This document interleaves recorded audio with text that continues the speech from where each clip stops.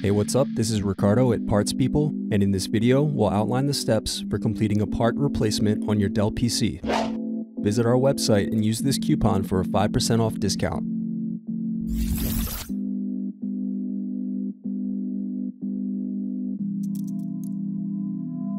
Unscrew then remove access door.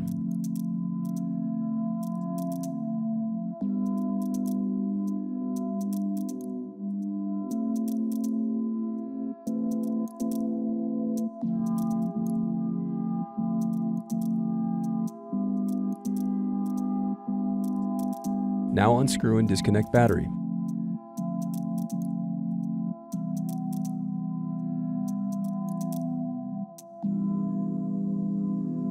Then unscrew and disconnect wireless card.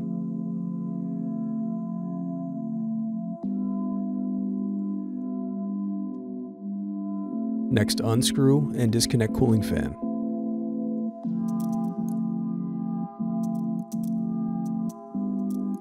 Now unscrew and remove heatsink.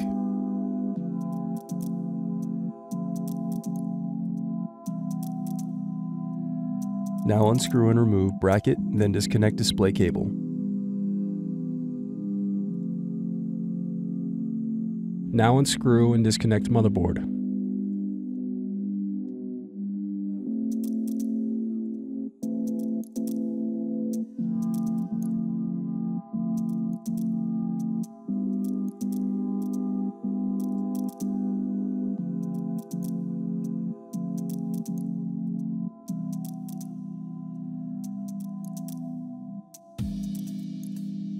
Thanks for watching. Don't forget to like and subscribe if you enjoyed this video. And if you need more, check out this playlist to watch other tutorials for your laptop. You can also click here to find parts for your laptop at partspeople.com.